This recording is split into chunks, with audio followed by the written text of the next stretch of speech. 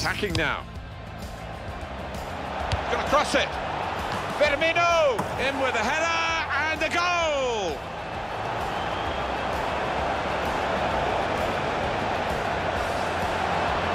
And off from Roberto Firmino, and he's headed it with enough power to beat the keeper above him there.